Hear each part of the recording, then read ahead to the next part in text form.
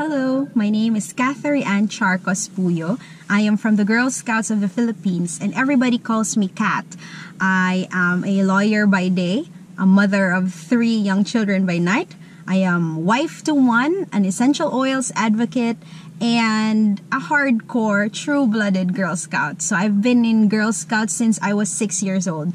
And today I'm going to ask you a question, which is who are we really as a region?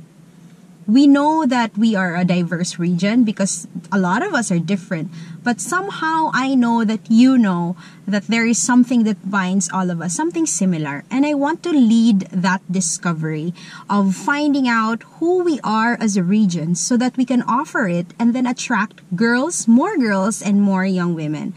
But more than attracting them, I want all of us to think about how to keep them because I think that is most important. And in fact, I think that is what happened to me. I kept Girl Scouting and WAGGGS so close in my life, and Girl Scouts of the Philippines and WAGGGS also kept me close to theirs. And I can say that that relationship is not without a lot of challenges because I bet you all the Girl Scouts of the Philippines leaders who are here will tell you I was pretty headstrong in my youth. But you know what? I am now in a place where I find value in intergenerational collaboration. And I feel that I could use my experiences, my personal experiences, to ensure that the region puts in place some supportive systems so that change is not so scary.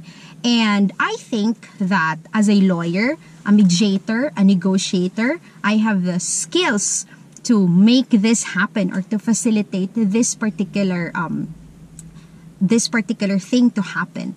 But more than the skills, you know, all these skills of vision casting, leading the work of the region, policy work, and governance, I think these skills could be learned by anybody who is willing to learn these skills.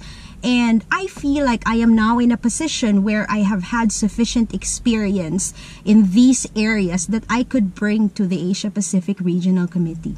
But I'm going to tell you why I think I'm different. And that is couple of days ago, my six-year-old daughter Raya, which in Malay means celebrate, she was wading through all my boxes full of badges and pins and you know your Girl Scout trinkets, Girl Scout and Girl Guides trinket. And she asked me point blank. She said, "Mom, can I be a Girl Scout?" Now that is a very loaded question because her school does not recognize Girl Scouting.